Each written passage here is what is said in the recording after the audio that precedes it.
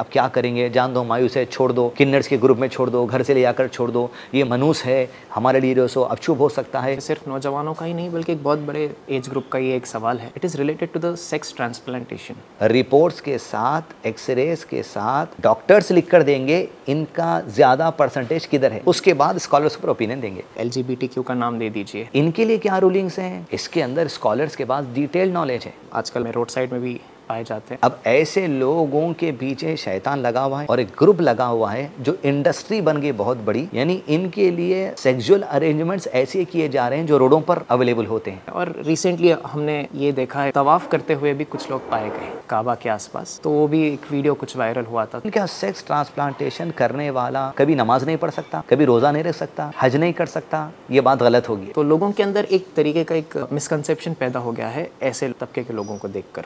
ये exactly exactly है क्या? आप बायोलॉजिकली भी हमारे नाजरन को समझाएँ और इसका एक इस्लामिक हल भी आप हमें बताएँ, जी।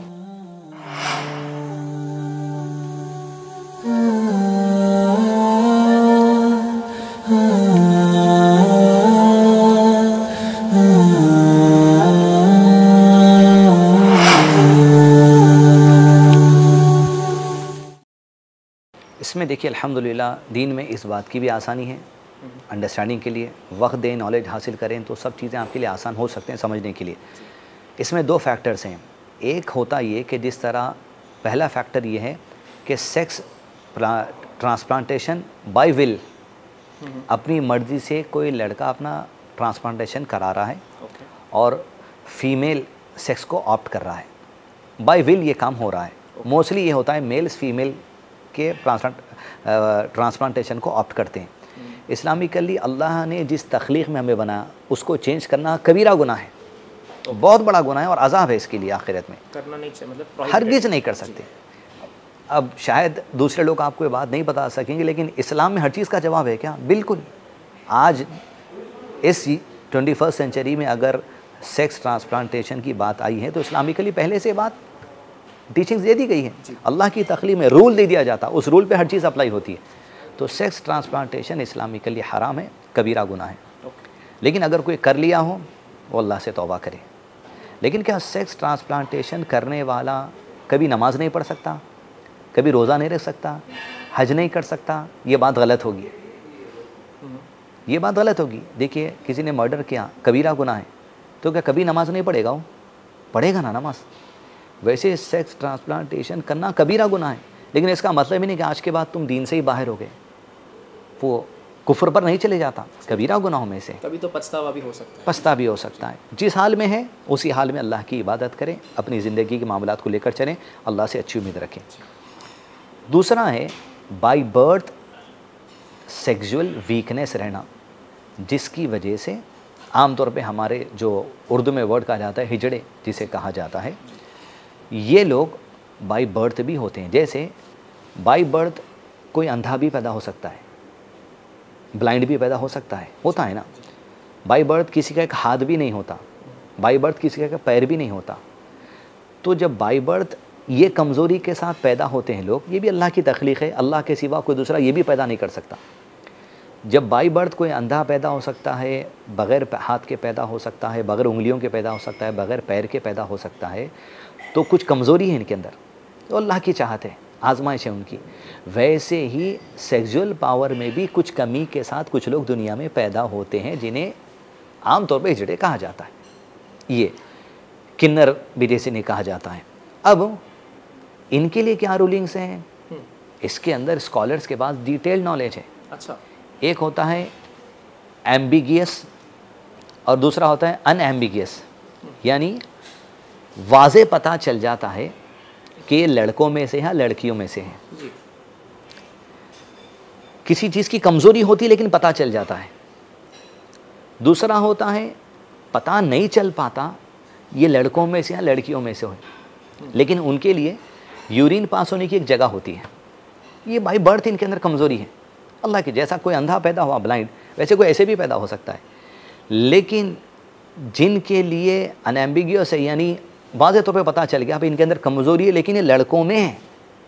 तो इसके लिए रूलिंग्स भी लड़के वाले रहेंगे रहेंगे इस्लामिकली। जायदाद में तकसीम लड़कों के हिसाब से रहेगी नमाज़ के अहकाम लड़कों के हिसाब के रहेंगे रोज़े के अहकाम लड़कों के हिसाब के रहेंगे। हाँ शादी के अहकाम लड़कों के हिसाब के रहेंगे। हाँ अगर सेक्सुअली वो इतना फिट है कि शादी कर सकता है तो करेगा नहीं कर सकता है तो नहीं कराएँगे उसकी निकाह। लेकिन रूलिंग से उसके ऊपर मैन की अप्लाई होगी। वो सेक्स डिटेक्शन के साथ रिपोर्ट्स के साथ एक्सरेज के साथ डॉक्टर्स लिख कर देंगे इनका ज़्यादा परसेंटेज किधर है? उसके बाद स्कॉलर्स पर ओपिनियन देंगे। दूसरा होता है बहुत शक है डिफ़िकल्ट है कि मालूम करना। जी। तो उसके लिए इस्लामिकली स्कॉलर्स के पास ये भी नॉलेज है पेशाब पास आउट होने की जगहों में भी डिफरेंस है जिससे पता लगा सकता है इसका ज़्यादा परसेंटेज किधर का है। यानी हो सकता है कि वो उसके अंदर हारमोन्स 48 परसेंट लड़कियों के हों। यानी मैं एक टेक्निकल बात कर रहा हूँ एग्जैक्टली फ्रेमिंग नहीं कर सकता उसको। 52 परसेंट हारमोन बॉडी के जो लड़कों के तरफ़ के हों। तो इसके लिए कैलकुलेशंस करके टेस्ट करवा कर लैब टेस्ट करवा कर ये डिक्लेरेशन दिया जाएगा इसका झुकाव इस तरफ़ है इस परसेंटेज में। अब निकाह तो नहीं कर सकेगा लेकिन इसके लिए क्या है? रूलिंग्स लड़कियों के आएँगे या लड़कों के आएँगे? जायदाद की तकसीम में इबादत के मामले में सब चीज़ कैलकुलेशन की जाएगी। लेकिन ये जो किसी चीज़ की कमी है अब ऐसे लोगों के पीछे शैतान लगा हुआ है और एक ग्रुप लगा हुआ है जो इंडस्ट्री बन गई बहुत बड़ी। गवर्नमेंट के तहत लीगल है होंगे उनके पास लेकिन हम एज अ कम्युनिटी गाइड कर रहे हैं। उसके बावजूद वो करना चाहता हैं उनके अख्तियार की बात है। यानी इनके लिए सेक्सुअल अरेंजमेंट्स ऐसे किए जा रहे हैं जो रोडों पर अवेलेबल होते हैं।